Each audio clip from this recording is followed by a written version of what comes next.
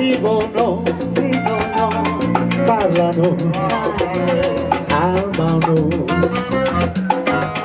e la chiamano estate questa